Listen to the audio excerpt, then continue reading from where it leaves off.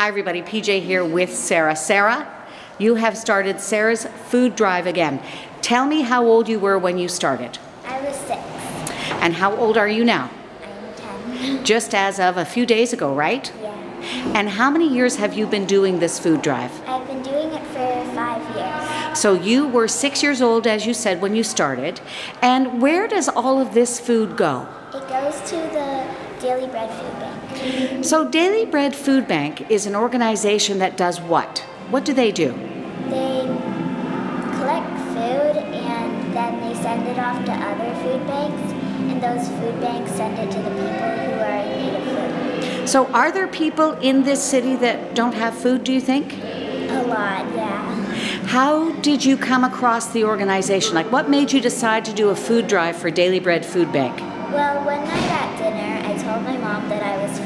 she told me that there were people that live five minutes away, and it made me really sad.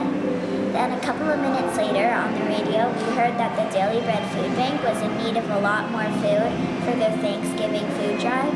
So I decided to do something to help and do a food drive for the Daily Bread Food Bank. And if people want to help you, um, do you have a website where people can visit? Yeah, I Do Do you know what it is? It's It's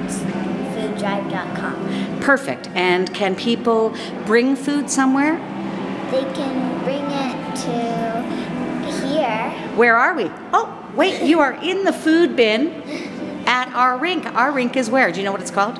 North Toronto Skating Club. Right at the North Toronto Memorial Gardens. And you're hoping to fill this bin up lots. Yeah. Where else can people get involved? Um, on my website, um, at a, at my grocery store nearby called Tromblett's Value Mart. Um, And Tromblett's Value Mart, I think, is on Bayview Avenue, isn't it?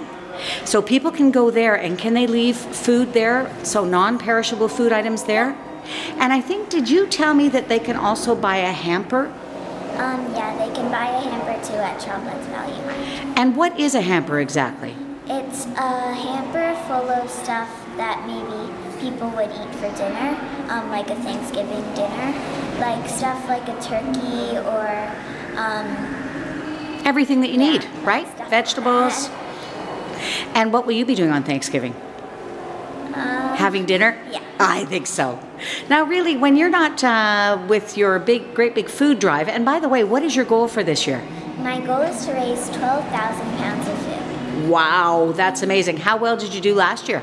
Um, I raised A whole lot. 6,000 pounds of food. 6,000 pounds of food. I tell you what, Sarah, you are going to rule the world, I have no doubt. But one of the things that we have to do in the next few minutes is we have to get ready to go on the ice. Who's your favorite skating coach? PJ. Love it. Thanks so much for talking to me. Good luck with the food drive.